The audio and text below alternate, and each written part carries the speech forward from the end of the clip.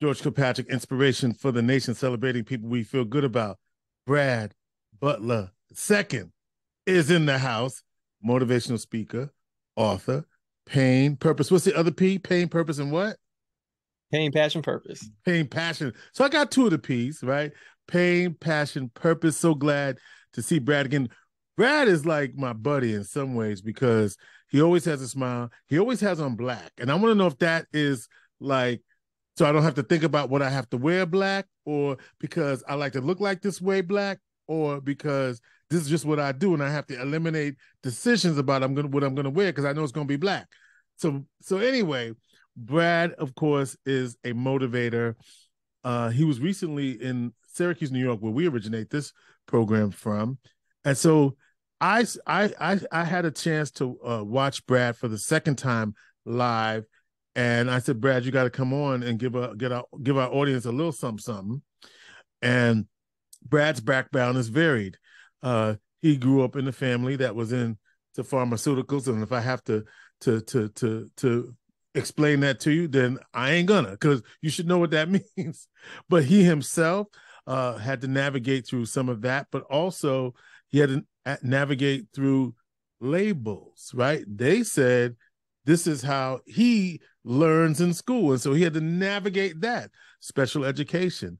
And now look at him now look at him now, right? Right, master's degree, speaking all over the country, uh, and he has his own business. So, uh, Brad is here to help us, right? For those of us who are in the midst of a transformation, who need to be transformed. But I, I was actually watching his page the other day, and there are some folk he can't help. And we're going to talk about that. So let's start with so his shirt. He's got a shirt on. If y'all at home, y'all can't see it on the radio.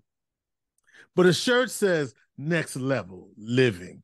So let's start with that, Brad. What's next level living and how do we get there?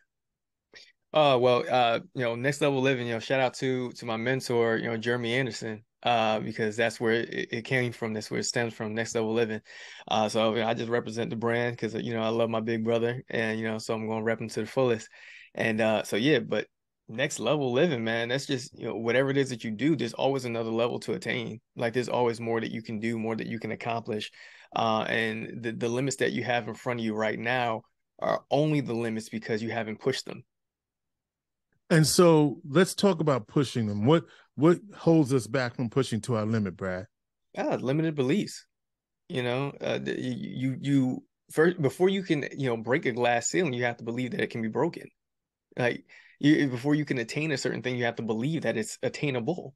Mm-hmm. Otherwise, you know, you would never attempt it. Like, why sure. would you attempt something if you don't believe that you can actually do it? So before uh, anything is actually uh, you know executed on, there's a plan that they have in place, but first they have to actually believe that it's possible for them to put the plan together and execute on the plan for them to achieve said thing.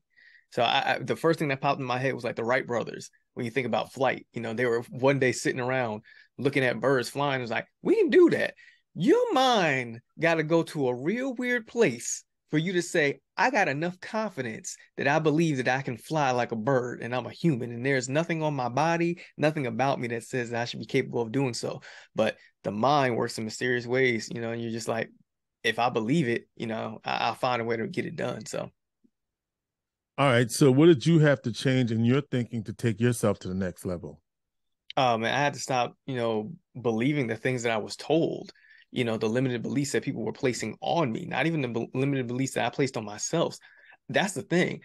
Some people they don't they're not uh you know achieving all that they could out of this life because not because of what they say to themselves is because of what they believe that other people have said to them that's mm-hmm. the crazy part somebody tell you you're dumb but you get a's like and you actually sit there and believe it. Oh you're not smart or you're not this you're not that you know you're not you know you're not going to amount to anything. And before you even had the opportunity to go out there and try to achieve something or try to amount to something you auto- automatically are in the negative because you're like i'm not even going to try. So yes of course you're not going to amount to anything. You're not trying. So uh little stuff like that that can you know hinder you getting your way little roadblocks. So you got to you know you got to detox yourself of certain things and certain people and you got to make sure that you're fo- more focused on what you say to yourself and making sure that what you say to yourself is something positive because the majority of the thoughts that flow through our head in a day 85% of them are actually negative if you don't get control over it. You know this idea of detoxing from certain people certain places certain things. The detoxing from people is often the hardest thing to do. Oh yeah uh, detox because when you detox, it causes withdrawal. And the withdrawal makes you want to go back to that thing. Like you want that dopamine hit again. So whatever it is, oh, I got to go to the club. Oh, I got to be with these women. Oh, I got to be out here, you know, drinking. Or I got to be smoking. Or I got to do whatever it is. You're just trying to get back to that dopamine hit. What I've learned is that and I, I, guess i get this from you know my the thought process from my father because my father uh, and my mother they were both heroin addicts uh, for years but they were able to beat their addiction. My mom went to uh, the meetings and you know with counselors and things like that to do it that way and walk through like the step-by-step process. My father locked himself in my aunt's attic and he went cold turkey and like sweated it out of his system because he legitimately believed that he could beat it. Like mm-hmm. he didn't want anything to have control over him like that. So when I learned about that story, something clicked in my mind. It was just like, Brad, if that isn't your father, that's inside of you too. Mm-hmm. So any form of adversity, any form of a stronghold that's on you, Brad, you have the ability to break it. Like you might not break it that first day or that first week or first month. It might even take you a couple years, but you can break it. Like you'll get better you know day by day. And there have been little things within my life that i've used that mentality on to break any form anything that i thought could potentially be a stronghold on my life. I've used that method. I'm like nope cold turkey. We're gonna break this thing. Um did you so do you like drink or smoke uh or did you uh, or, or do you do it in moderation or do you like shun it altogether uh, i've never done drugs i've never smoked uh drinking i did I, I did used to drink when I was uh, younger, when I was in college and things like that. And then when I got out of college, I still drank socially. Mm-hmm. Um, and then I realized one day I was like, why am I drinking? Like I was like, I don't even like something that I really even like. But like when I was in high school, they call like you call people call me B rad, but in high school because I didn't drink or smoke or do drugs, people used to call me B regular because mm. I was mm. just they was like, yo, he just high on life on life. He don't need nothing. He just good the way he is. He regular. He good. Mm-hmm. So I didn't I realized I didn't start drinking until like I had my like my first heartbreak, right? After that happened, and I just I would drink because it was like, oh, if I take a couple of drinks, it's easier for me to go to sleep. I, like, I wouldn't even drink till I was like dead drunk. I was just drinking. It was like, oh, okay, I'm more comfortable. I can just go to sleep now. And then that came, you know, became a thing that helped me. And then once I got over the heart, heartbreak, then I was just drinking casually because then I was drink, I, I had gotten used to drinking. So it was just what it was, what it was. So when I got older, and I was like, oh wow, I don't think I really want to drink anymore. There's no real need for it. Right. And then, right. you know, I just broke myself away from it. Right. So when you talk about uh and you was talking about detoxing in order for that transformation to occur, a lot of us find ourselves at crossroads, right? And it's you know, you've got to make some choices. And I see that this detoxification of relationships, uh, we talked about people, there's also place, right? because even yourself you would you move from a certain environment to a more suburban environment and that certainly influenced uh, the choices that you make. And you find a lot of people who may be uh, in one lifestyle. They move to maybe upstate from downstate new york or whatever to to experience a different lifestyle away from the people but also the space right i remember my boy when he he was, you know, in a program, right? And the purpose of the program was to really get you out of the choice that you make. It could be addiction, could be whatever it is, right? But then he found, well, I'm gonna just go around the way for a minute. And you know what happened, right? Recidivism, right? He went right back and because he thought he was stronger than the thing in that neighborhood, and it turned out that it wasn't. And I'm not saying that you can't rehab and and be strong in the neighborhood that you live in. I'm not saying that at all. But your chances of success improve if those influences may be too much for you. Speak to that because I'm not saying that you can't do it in place, but sometimes you have to move your place to be successful. Uh yeah, when it comes to like those type of strongholds and addictions and uh things like that, I read a book um, by uh, James Clear uh, called Atomic Habits. Uh, and in that, one of the biggest things I took away from me said uh, the best way to beat an addiction or like a stronghold is to avoid it, not to um, resist it. It, it. You have to avoid it, not resist it. So if you know that you're a drinker, then you you can't go into the bar. You have to drive past it. Mm. Like otherwise, you'll you'll put yourself in a situation where now you're fighting against yourself on whether you should you know do this or not do it.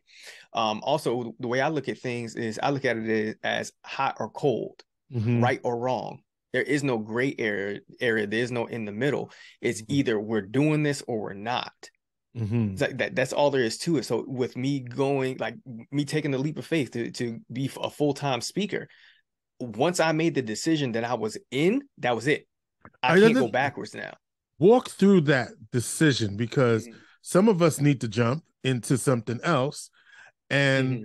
there's a whole lot to consider before you do that, right? And you want to win and you want to succeed, and and and it's in some ways it sounds like you have to take a bet on yourself. But what was your mindset like? Because we want to bless somebody right now. How can we bless somebody who is in that place? Mm-hmm. So for me, I'd already spent years working on my craft. Mm-hmm. So I knew how to do the work. I knew if you gave me a microphone and put me on stage, I could deliver.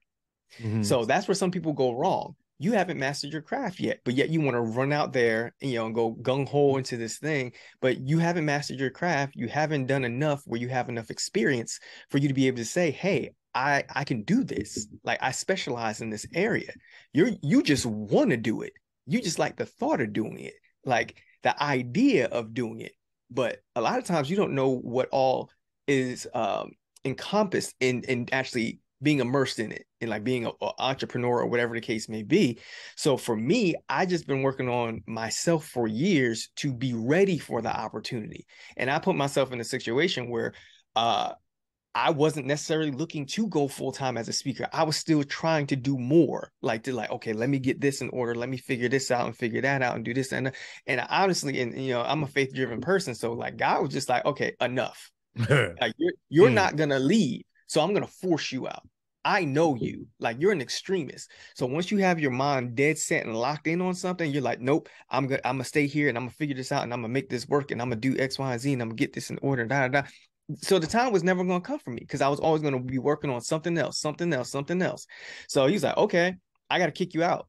So I had to leave the job that I was at because it was during um, COVID, during COVID, and I was working at a group home, and all of the uh, the the the the the residents who were at the uh, the group home, they all ended up getting COVID. I was the only one who didn't. Mm-hmm. I was the only one who didn't get COVID. So they're like, well, you still have to work hands on with them and stuff. I'm like, I can't work hands on with them. I'm going to get COVID. They was like, well, you have to do it. I was like, okay, well, that's not going to work. So, you know, I had a conversation, you know, with my wife, had a conversation with my mom, had a conversation with Jeremy Anderson. I called him. And the funny thing about it is Jeremy Anderson is your mentor, right? He's your mentor. Yes. Yeah. Yeah. So, so I, um, I talked to him about it and everything. And, and really, what it was is I knew what I was supposed to do. I knew I was supposed to just pack it up and leave. But I was calling, just I guess was like, hey, I, if just one person says, "Oh no, no, no, you should probably wait," then I probably would be like, okay, I'll just stick it out, and probably would end up, you know, in there getting COVID and all that and whatever. But everyone said no, it's time to leave. Mm-hmm. Everyone said no, you know how to speak, you know how to do this. You're getting paid as a speaker already. Like, so just go do it full time. Like, you're putting 40 hours or more into this job, right? Imagine if you put 40 hours or more into your calling, into your mm. purpose. Come on. Just imagine. Like, eh, just think about it, George. It was like I was booking speaking engagements, I was already getting paid. So I'm getting three, four, five paid speaking engagements a month as I'm working, you know, this job doing 40 or more hours a week doing that. It's like, well, what if I put all my time and all my effort into it? Uh, if I had okay, I got my website together, got my demo reel, got my EPK, I got my my testimonials, I got my skill set, I got what's, my mentors, I got what's EPK? Uh, electrical press kit. Oh, thank you. Okay, right, no problem. So uh, I got my mentors. So I got I got Eric Thomas, I got Jeremy Anderson, I got Inky Johnson, I got Chris Crumpler. Like I got all my mentors who on my side. They're like, you can call me anytime you need me if I if something going wrong, no problem. And sure enough, I used my resources, got myself together, and I took off. Went out there and just got and got to work. So what did the pain? That was it. I had no safety net. So so your book is pain, passion, purpose, and I'm sure in all in that decision, there's always pain in the beginning. How did you how did you move through that and the the second guessing of this decision that you made? Because you said it was smooth sailing, but I'm sure that first day must have been like, damn, did what did what did I really just decide to do this? Like when you're like no safety net, um, what did you how did you move through that? All right, so I my skill set was there. I knew what to do. I knew if you got me on stage, I was I I was good. I had it. The thing was getting on stage consistently now. So mm. the first three months was all over the place. It was crazy. It was a couple times where I was like, okay, I was telling my wife I might have to go back to work because I don't I don't know what I'm doing. Like I, I don't have this really structured properly. And she's like, all right, well then get some structure like ask your mentors what you should be doing and then i did that started putting that to work and got some structure structure structure together and that's what led me to where i'm at now because it's like okay now i know what i'm doing now know when to do it. Now, okay, I got all this stuff in place. But that first three months, it was crazy. It was all over the place. I was going just bleeding through my savings. And you know, I like that you said that because in you do have to um walk through some of that, right? to get to the other side and you could easily give up what kept you focused what kept you on the path uh, because other people are making these choices and they're like did i make the right choice did i make the right decision uh, for me, uh, you know, all right, Kobe Bryant said it best. He said, There's too many people out here, they listen to people when they say, Oh, don't put all your eggs in one basket. He said, No, nah, put all your eggs in one basket and then when the you the second you get an opportunity, you put some more eggs in that basket. For mm-hmm. me, I only have a plan A.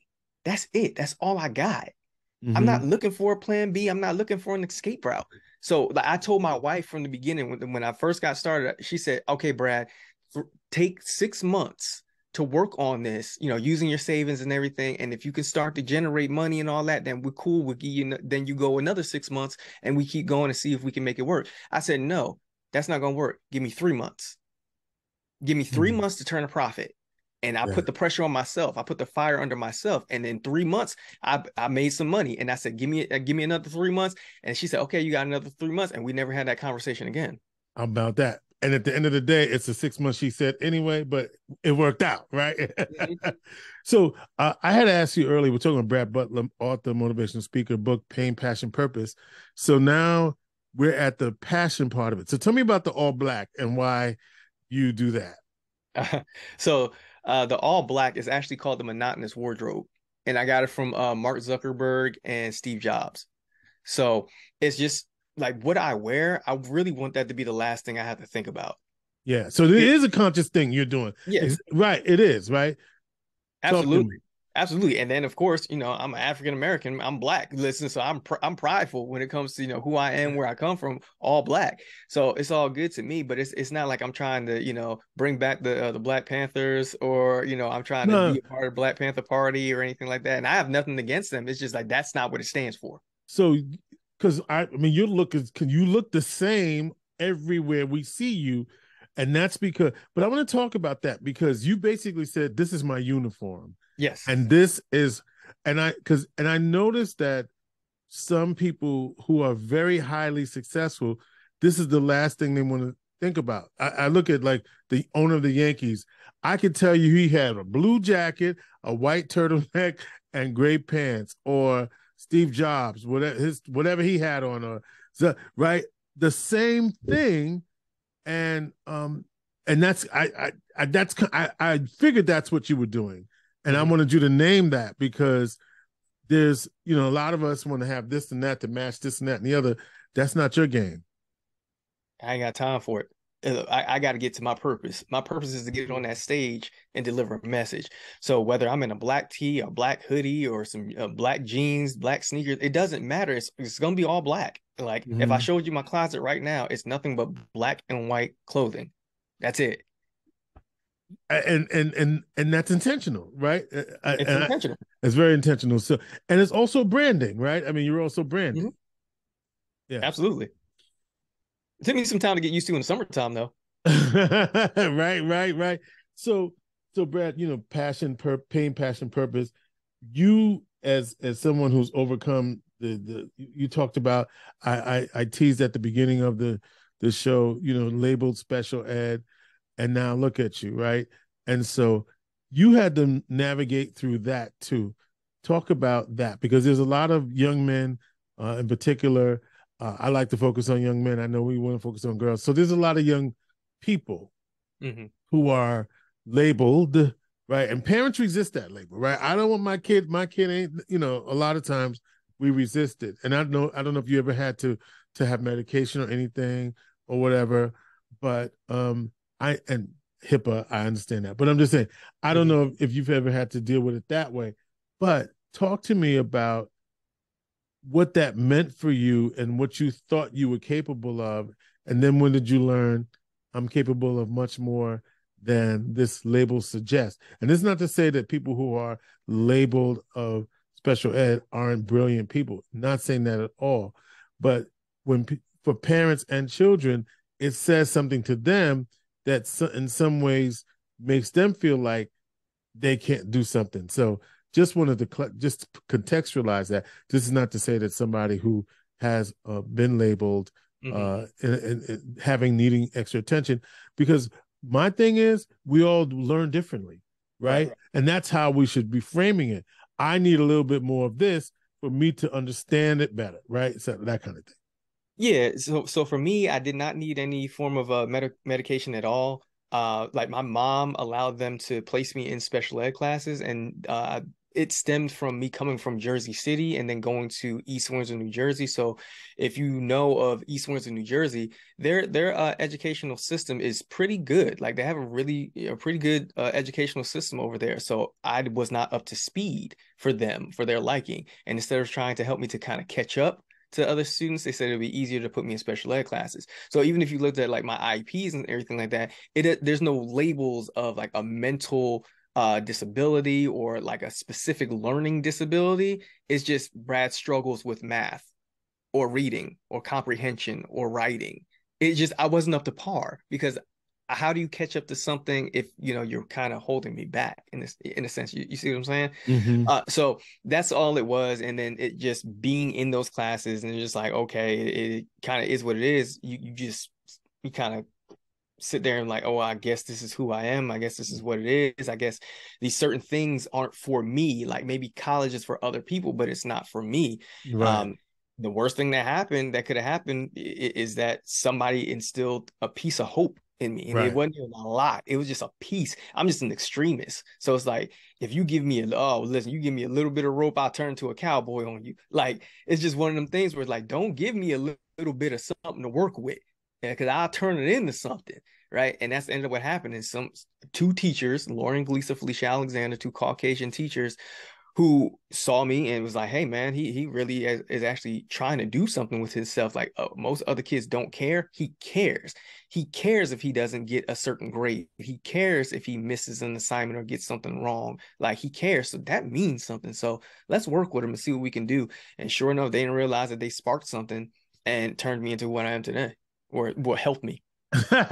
right, help you to find your purpose. And now he, so, and now here you are you speak to young people all over this country and we i was talking to an educator today and she was saying to me achievement. What can we say to young people about achievement and parents? Speak uh, she was also saying that you know parents are showing up to the school you know smoking of smelling of weed if you will mm-hmm. right? Um and so that's parents but also youth being infected and influenced by that. So, what are you hearing from youth? What are you saying to youth? How can we re um re- reignite the minds of our students so that they uh, understand the power that they have and how do we help parents and community members navigate this particular time because i feel like we're in you know, we're in a particular time in this country. I know of of young people who do well academically, but then they find themselves running with a crowd who's into criminal activity, right? Mm-hmm. And so what are they what aren't they getting? And what's the alarm that parents need to have to communicate to their youth from what you're seeing out here dropping into these cities all across the country? Well, um, anything that a child is not getting at home, they're gonna go get it in the streets. They're gonna right. go get it someplace else. So, for example, if um, uh, okay, so if, if uh, there's a, a young man and his the father's not at home, right? There's but so much that the mother can do. So if he needs that that masculine love, like that that like yo bro that like come on man i got you like we going this is how you do that like this is what a man does like if he's not getting that at home he's gonna go searching for it and if he finds it in the streets and the first thing he'd be like okay oh he got a he got the car he got the clothes he got the chain he got the money he got the girls oh, that must be what a man is because everybody is surrounding him. He's popular. That must be okay. So I'm gonna go over there. So if he's a drug dealer, if he happens to be in a gang or whatever he might be, he'll gravitate to that person. And guess what? He's gonna do whatever he did to get what he has. Even if he doesn't necessarily agree with it, he's like, yo, but that's what a man does. And I want to be treated as a man. I want to be the man. So I'm going to do X, Y, and Z. You know, so it's the same thing with women. If they're not getting the love and support that they feel like they should be getting at home, they'll go get it in the streets, or they'll try to go get it from another man, whether it's you know physically, emotionally, whether financially, whatever it is. They're gonna do whatever they need to do to get whatever it is that they're missing. So if you're like, okay, my, my child is running rampant, do that. It's time to have a conversation, and there needs to be some effective communication. Like, and you should address it. I'm just saying, I, I, I believe it would help uh, I don't have I'm not I don't have all the answers uh, for the parents, but what I can say is it can start with a simple conversation of openness and just saying, yeah, how am I doing as a parent? What are you missing from me? What can I provide for you? What do you need from me? And you'd be surprised. It might open Pandora's box and they just start flooding information like, well, I wish you could do this more. I wish you were around more. I wish we spent more time. I wish you came to more of my games. There's a, like my father never asked you know, any type of questions like that, how I was really feeling or doing or how I really was. He never really could decipher and really wasn't really in tune yeah. like that. So like my father, he didn't, I don't remember my father saying he loved me until but my senior year in high school. And that's because he thought he was going to die.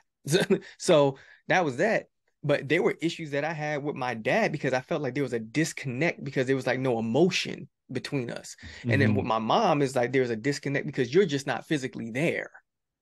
Mm. You know what I'm saying? So like with each uh each child and each parent whatever it could be a different thing you just never know unless you start you know peeling back the onions and you start asking questions you know thought-provoking questions where it's like okay how do you feel about my parenting all right what could i be doing better like i'm talking about you got to be asking these questions as if you were at a job Right. As if you were at a job trying to get a raise. Like, what could I be doing better? Okay, what am I lacking? What do I need to do? Like, I'm always kind of thinking about that because I'm a father now and I have a child, and I'm always thinking, okay, I need my son to be able to be open with me and know that he can tell me if, yo, dad, you you missed the mark with this. I'm like, ah, I, I didn't come to your game. I'm sorry.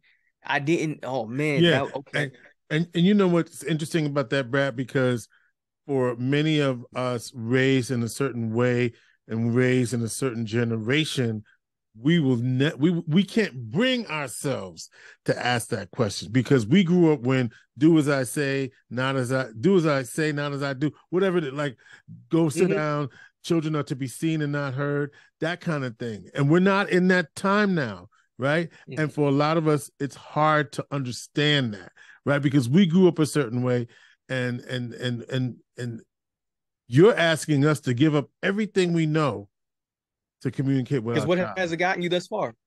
Okay. Because what? Because what has it gotten you thus far? Okay. Okay. What's and the alternative? mm-hmm. It's like you keep doing what you've been doing, then you keep getting what you've already got. Now you want change, you want something different. It's the same as like when people look at me and be like, "Oh, he doesn't wear a suit, so he can't come speak." I don't want him to come speak here. He doesn't wear a suit. Have okay? they said that to you? I've had people say it before. Yeah, yeah. I've had people like be like, "Oh, well, you, you know, you would do a lot better if you put on a suit." Says who? Says who? Like, I do just fine when I get on that stage. Put the mic in my hand. You'll see. my You know what I'm saying? But if you want something different, if you want change, you got to do something that's different. If you want radical change, you got to do something that's radically different. So, mm. like that, you've had the people with the three piece suits get on your stage and, right. and lie to the kids. And oh. then they turn around and, and, then they turn around and find out they don't have integrity. You find out they out here doing dirt and this, that, and the other. ain't no smut on my name.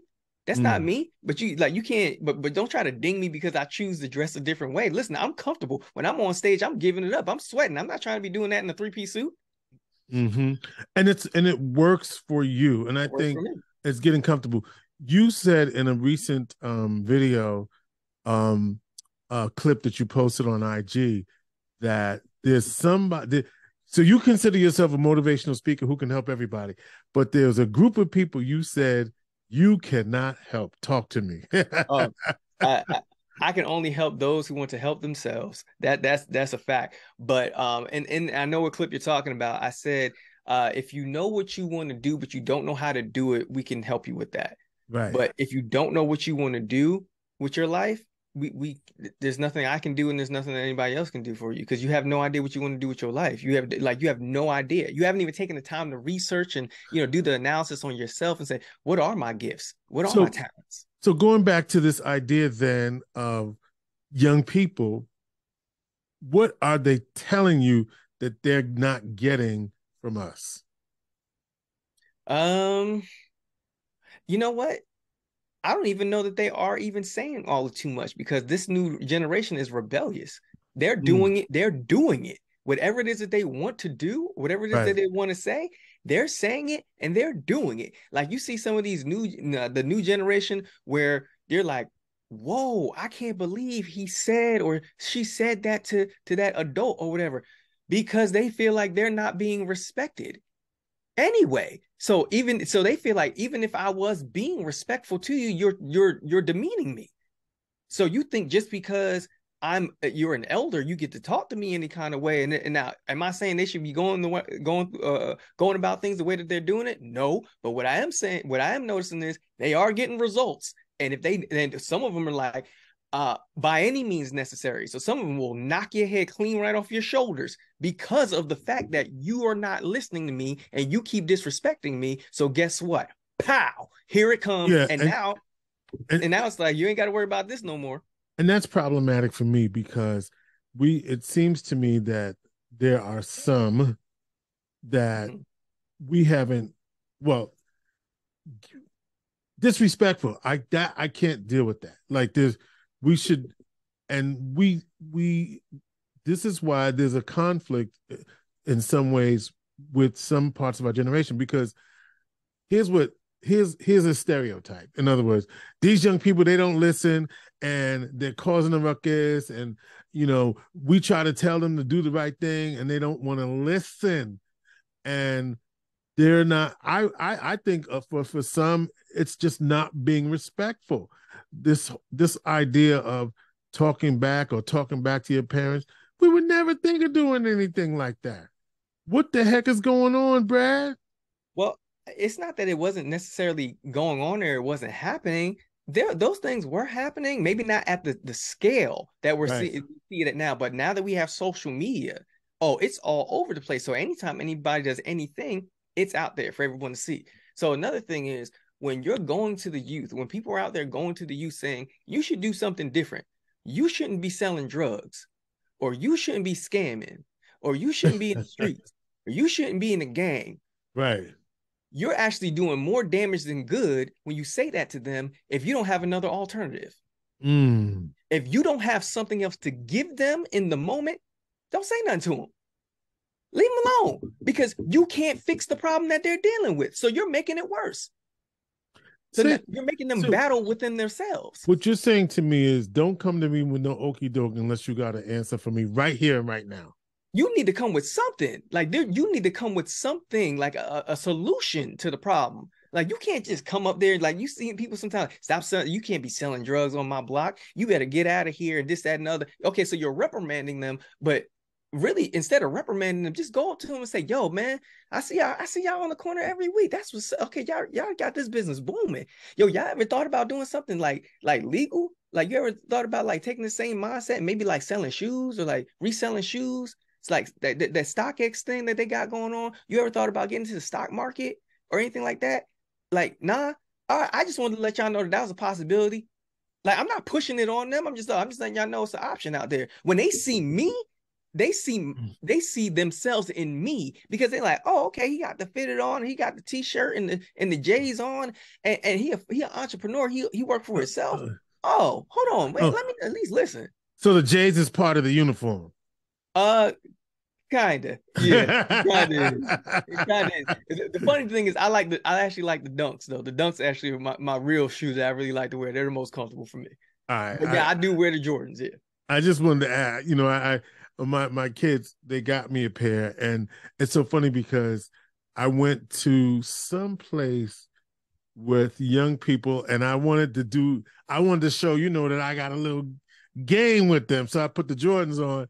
Uh, but I'm not a shoe person like that. Like I don't have like a million pair of Jordans. In fact, since you know I'm a Knick fan, I was like later for that. But anyway, so so so Brad, let's help some people, right? Because somebody's at a crossroads like you are. Somebody needs some practical what I'm gonna do right now to get to the next level of whatever it is that I want to do, whether I want to get out of a relationship, stop a bad habit, break an addiction. Um, because you know, I always find it I always I'm always amazed that people can talk about their uh pathology, if you will, and and and and be okay with that. And I don't know when when you got comfortable doing that, but I'm always admiring of people who are able to do that. Oh well, th- thank you. I I kind of always been somewhat of an open book, except for the whole special ed thing that I kept to myself for a very very long time until I became a speaker, and it was like Brad, you have to tell them. Like you mm-hmm. got to tell them that in order for this to make sense. So there's that. But so you did go to speaker training. Just let's be clear about that, right? You you were trained. Yeah, I was trained. Yeah. Mm-hmm. You didn't just jump out here with a story. And Dude. so your speaker said that's a piece of your story that you got to tell. Is what you what you're saying. Yeah, absolutely. It was something I was ashamed of. You know, mm-hmm. when you when you go to you're in special ed classes, it's almost like you're a meet you're you're you're immersed in shame because you're separated mm. from everybody else. Mm-hmm. You know, you're you're not meeting the the standard. So that was the thing that I just didn't want to talk about. But my, you know, but I by that time I'd already gotten my bachelor's degree. Like I'd already overcome. I'd already done these things. But sometimes you revert back to that little boy or that little girl eh, who's hurt because you never addressed the issues. You never, you know, started the healing process. Me getting my master's degree in counseling was a part of the healing process. Mm. It was it was me constantly going back to class and talking about what my experiences were and how I felt and th- you know this that and the other and like me constantly dealing with it so I got to the point where I was like this no longer has a stronghold over me. You want to talk about it? Let's talk about it. Mm. And as a counselor, you you're able to help others with that. So let's give them some let's let's give some tools, mm-hmm. Brad. Let's give them some tools. Okay. So if you are looking to whatever it is that you want to do, right? It doesn't matter if you want to be an entrepreneur or you're pursuing uh, degrees or, or a job, whatever, a career path, whatever it is. The first thing you need to do is you need to have a plan. Like you need to actually like everybody's like, oh, I got a plan in my head. No, write it down, make it plain. I can't explain it to you. And some of y'all believe me, some of you won't, but I can't explain to you what happens when you actually sit down and put your like put pen to paper and write that thing down and actually look at it. And then you have and then you have to remind yourself you know maybe a couple weeks or something like that later and you come back and you look at it again. It's like i did say i was going to do this. I did say i was going to make this change. I did say i was going to do something different and i didn't do it. Oh hold on i got to get on this. Mm-hmm. because now you like you breaking a promise to yourself something happens like the universe kind of gets out of your way it opens doors for you when you actually put your your stamp of approval on something when you stake your claim on something when you say out of your mouth you're going to make a certain thing happen like life and death is in the power of the tongue and i believe that why i'm an orator everything I say, I believe I can make come to fruition. If I tell you today that I'm going to be an astronaut and that's what I really wholeheartedly believe I'm going to do, you can't tell me that I can't do it unless I'm six feet under the ground. Mm-hmm. So that's how I look at things. So write down your plan Make it plain and get detailed with it. Then after that, start taking the action steps. Okay, what is it going to take for me to be able to do this thing? Start with the end in mind and start reverse engineering your success. Okay, I said if I'm going to be one of the best motivational speakers in the world, if I'm going to be traveling around the country, being an international speaker, all those things, I need to get around those who are already doing it. And I have to be able, be willing to invest in myself, invest in my time, and be willing to fail. That's that's the problem. I tell people in the Speakers Academy that I'm a part of with Jeremy and ET and Inky and all of them who's like, yo, Brad, man, you doing well, man, you doing great, this, that, and other. I'm like, stop. Stop the only reason that you're coming to me and you're giving me this quote unquote praise, me being a great speaker, I'm doing very well, and, and the money's good and all that. The only reason you're saying that to me and somebody else might not be saying that to you right now is because I have been willing to fail more times than you have. Mm, I love it. I love it. I'm just willing to fail because I know on the road to failing, success is right around the corner. So I was willing to look busted and disgusted battered and bruised. Like, oh man, he sucks. He's not a good speaker. Oh, he that's ain't that wasn't good. That wasn't a good transition. That he wouldn't stay on point. That wasn't on topic. That he spoke for too long. He spoke too short. That wasn't it. Oh man, look at his brand. It's all off. Look the way he dressed. Da, da, da. Like I went through it so that I could learn in the process and just get the nicks and bruises that come along with it. And now I'm at the point where it's like, no, I know exactly what to do. I know what works. I know what doesn't work. I know myself better than anybody else. I'm not trying to be other speakers and do what they do. I am a keynote motivational speaker. I kick off or I close the event for you. That is what I do. Right now, can I do workshops? Absolutely right? I can do those. Can I provide you with a curriculum? Absolutely, I can do that too. But the bread and butter, the thing I know I do hands down, the thing I put the most time and effort into is my keynotes. So I know what my thing is. I know what my niche is. I'm good money there.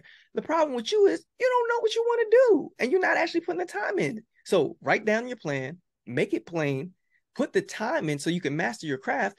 And then here's the cheat code Here's the one that is I don't know why people don't do it. You, this is cheat code. You, cheat code. cheat code. This is it. Get a mentor. Like I, I, I said it with the second one a little bit, but like you really have got to don't just pay for mentorship, right? You have actually got to be immersed in it. You have got to get on their nerves. Like I used to get on my mentor's nerves. Like, hey man, I got a question about this. Hey man, I got. I'm on every call. I'm asking every question. I'm taking all the notes. I got notebooks full of notes just because I need to know okay, I gotta be ready. I gotta be ready for the moment. I gotta be ready for this, that, and the other. Like I remember going with Jeremy. He took me with him when he did a um uh, um a professional development. Jeremy uh, Anderson. Engagement. Jeremy yeah. Anderson. Yep, he took me with him when he went to a, a professional development uh situation. I'd never done a professional development keynote before, ever. Never done one. But I went with him, and right after he quizzed me, he said, Okay, what did I do? What did I say? What was my transition? What were the key points for this, that, and the other? How long did I speak? This, that, and the other, blah, blah. And he's like, What did I do right? What could I have done differently? And I gave him all, I ran, ran it all down for him. He said, Okay, great, great notes. You got it. If you do exactly what I did, you you'll be ready to do a, uh, a, a professional development. Sure enough, a couple weeks later, I started pitching that thing, and I got one, went out, knocked it out the park. Why? Because I knew what to do, and I stayed on my mentor's hip. Mm. That's the cheat code. All right. And we just heard some pain, we heard some purpose, and we definitely heard some passion. Brad Butler, the second. Um, we love you, Brad. Talk to me about how people find you. Uh man, I'm on all social media platforms. If you can't find me, you just ain't trying. It's Brad Butler. Brad Butler. Brad Butler too. Brad Number Butler the second on yeah. everything. So if you search, you know, on Google, Brad Butler the second, there you go. It's right there. If you look into, you know, find me to book me and that type of thing, Brad Butler, uh, the number two dot com, www.bradbutler, the number two dot com. Very easy to find. I see you got the two books behind you, Pain, Passion, and Purpose. What's the other book? Oh no, this is just like uh my um like social media and all that stuff over there. Oh, oh. and oh, this other book, this is the Bible. Oh, I got you. He's a man. Know, know y'all know that one. A, a, man of faith. All right, Brad Butler the second. Uh, always a pleasure to have this brother stop by and give us some love and some wisdom. And um, we wish you the success. So now, did y'all take notes? Do y'all remember what he said you have to do? What did he say? Y'all hit me up here and let me know what he said. And then not only what he said, what you're gonna do. All right. Inspiration for the nation. Let's go.